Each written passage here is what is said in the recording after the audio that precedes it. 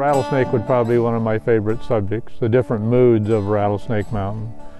And anything else that's, uh, it has inherent beauty to it and, you know, communicates, you know, God's creation to people in the outside world that normally wouldn't see what I'm photographing unless they see it in a photograph. It's like loving the chase. It has to do with getting that mood and the lighting, and it's like fishing. You know there's something out there, you know the fish are in the river, and you're trying to catch that one big fish. And it's like trying to catch that one great photograph, and it takes a lot of trips to catch that one big fish. And it takes a lot of trips to get that one really good photograph that you like, or that you're real proud of.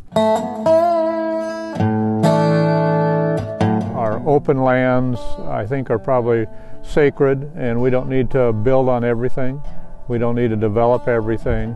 My job in over the past 35, 40 years has been to photograph this area over and over and over again and you see the transition, you see the changes now. A lot of areas I photograph don't exist anymore because of development and uh, you know just people expanding into the countryside.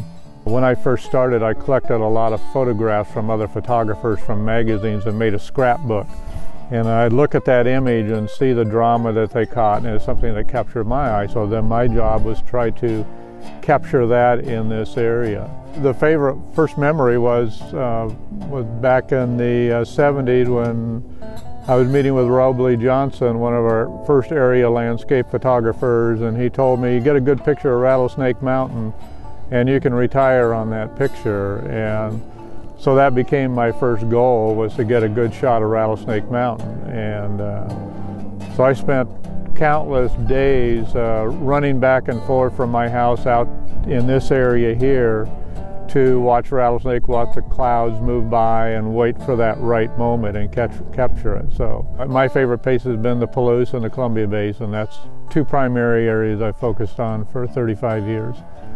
And thus, that's the reason I did the Northwest Drylands book, to share the beauty of eastern Washington with everybody else in the outside world. And uh, that's, that's, this is my favorite area of all areas I've been in.